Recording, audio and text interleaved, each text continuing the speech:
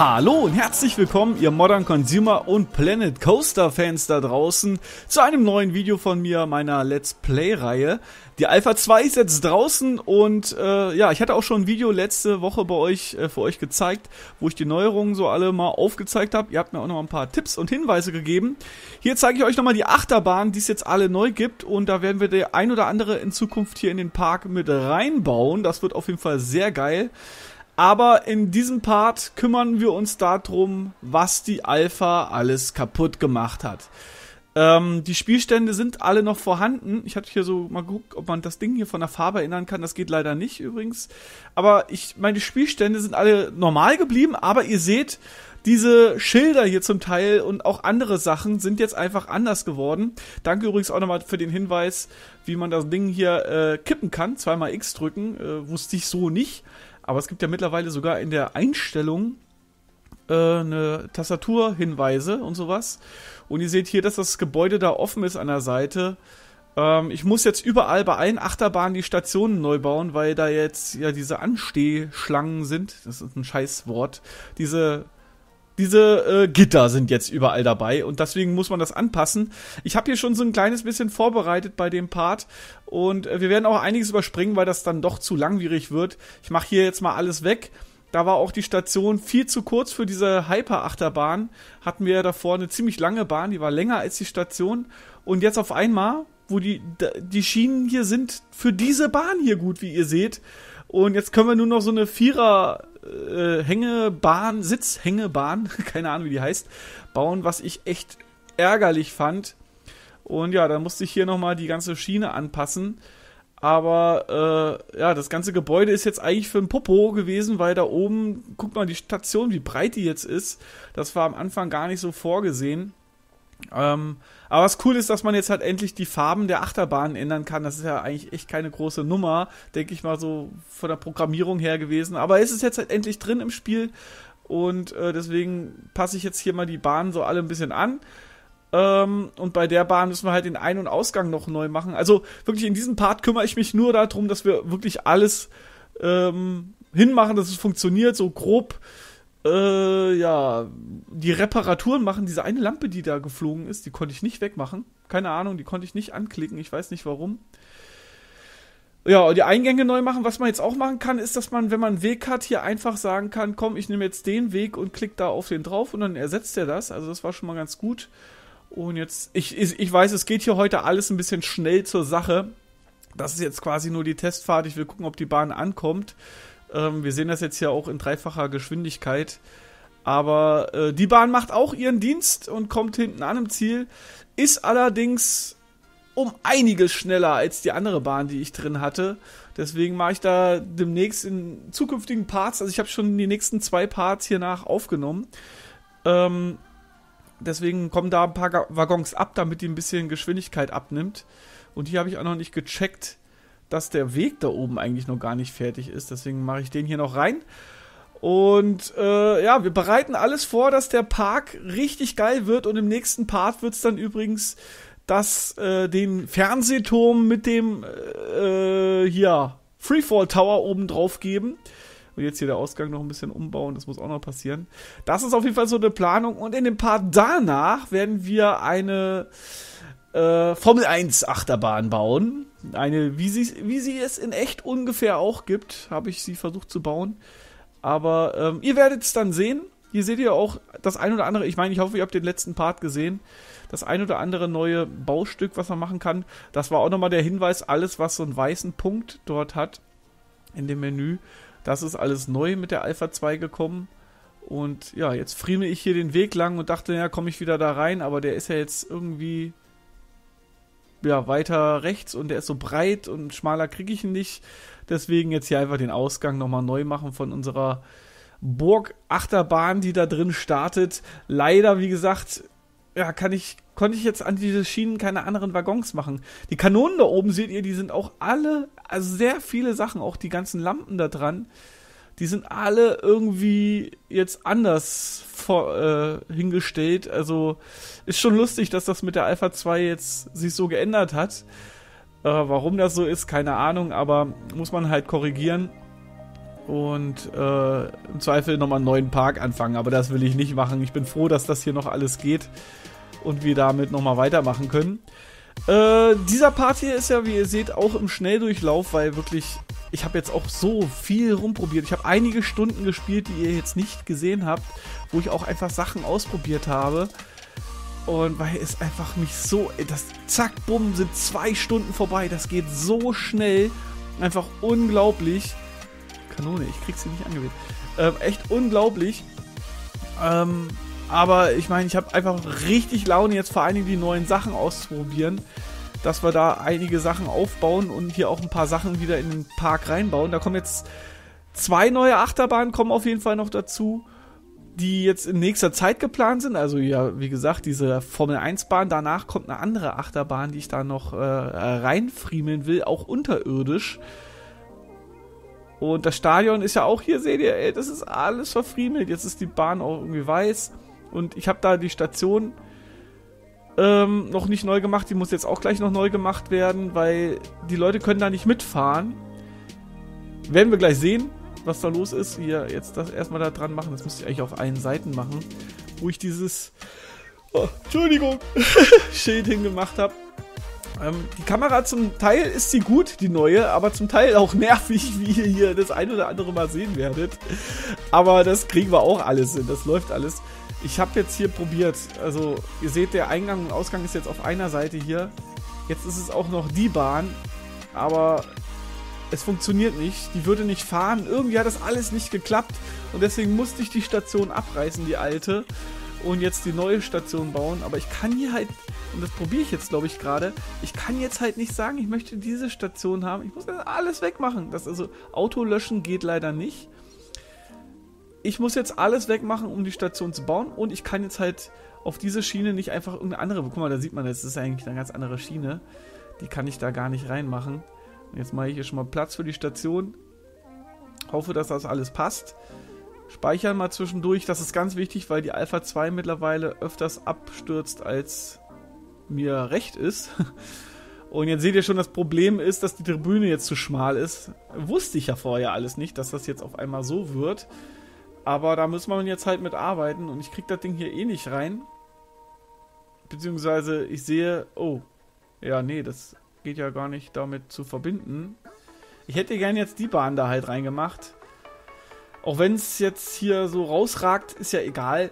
Da bauen wir nachher noch was dran. Und die Erde können wir ja auch noch anheben und senken, wenn man will. Aber ja, jetzt baue ich dann doch hier die Standardstation. Und da seht ihr unten, da kann man auch sagen, ich möchte, dass die auf der einen Seite rein, auf der anderen rausgehen. Oder äh, ja, auf der einen Seite rein und dann kann man das, die Station so drehen oder hin und her. Aber ich mache es jetzt so, ich muss den Eingang auf die Seite machen, weil das einfach das breitere Stück ist. Und gucken, dass ich die Leute, die rausgehen, irgendwie über die Tribüne jagen kann. Ja, und jetzt ist der ganze Weg hier wieder blöd, weil das ist keine Warteschlange. Deswegen baue ich jetzt hier einmal so ein bisschen schön lang vorm Stadion. Ich finde es echt schade, dass, dass man nicht sagen kann, mit dem Bau soll der automatisch jetzt den Weg da löschen oder das, den Baum da löschen, obwohl durch Bäume geht es ja durch. Aber das finde ich ein bisschen doof. Was meint das? Ja, ja, hier so. Ich denke mal, es gibt auch später noch unterschiedliche hier Eingänge. Ansonsten baut man sich da halt, wie gesagt, so ein Gebäude drumherum, dass man das, dieses Gestängel da nicht mehr sieht. Ja, das ist jetzt erstmal so dran gefriemelt. Also reingehen können sie schon mal, jetzt müssen sie nur noch rauskommen und das klappt ja hier auch so nicht. Und was ich jetzt auch erst nicht checke, ist, dass das ja hier ein normaler Weg ist, weil das war ja mal der, äh, das war der, das war der Warteschlangenbereich. Deswegen kann ich das jetzt auch nicht daran verbinden. So, zack, da hin und her probieren. Ihr seht schon, wie ich andauernd am Probieren bin, dass das hier irgendwie läuft. Äh, auch das klappt nicht so ganz. Hier nochmal hin und her. Ja, wo macht man es hin, damit man möglichst wenig am Ende hier Verlust hat. Boah, ich bin die ganze Zeit am Gähnen. Ich weiß nicht warum. Es ist mittags, ich das hier aufnehme. ich, bin, ich bin schon eine Weile wach. So, jetzt erstmal den Weg hier weg. Ich hab jetzt, jetzt habe ich es gecheckt, dass das nicht geht. Und jetzt kommt ja der normale Weg dahin. Und jetzt geht irgendwie hier auch nicht. Irgendwie ist die Länge so krass anders. Also das ganze Ding hier ist jetzt eigentlich blöd, Und deswegen gehe ich jetzt den Notweg und werde hier einen neuen Eingang bauen, wo die dann durchmarschieren können. Ja, so, jetzt sagt das passt schon. Dann kann man das ja gleich noch da ein Loch reinmachen, dann geht das schon. Noch hier das verbinden miteinander und dann kriegen wir das auch hin, dass die Leute da reingehen können und auch da oben diesen Weg über die Tribüne lang gehen. Natürlich auch wichtig. Ja, hier so einmal durch. Sieht man ja von vorne gar nicht so richtig. Also, das passt schon. Was mache ich denn hier jetzt? Das war, das war völliger Schwachsinn. Ich hätte das ja einfach lassen können. So schlimm ist das nur auch nicht. Aber naja, ich bin mal wie ich bin. Und äh, tu das nochmal so hin. Äh, wo sind wir jetzt da? Ah, okay. Ähm, da machen wir nur die Löcher stopfen. Und die Bahn muss gleich auch nochmal von der Farbe geändert werden. Und dann können die Leute hoffentlich ins Stadion. Wir müssen halt auch gucken, dass wir dann später was ans Stadion bauen, ins Stadion oder wie auch immer, dass da mehr Leute hinkommen. Es gibt ja eine neue, es gibt ja neue Attraktion. Das Riesenrad passt ja nicht da rein. Hm, aber ich habe gerade wieder eine irrsinnige Idee.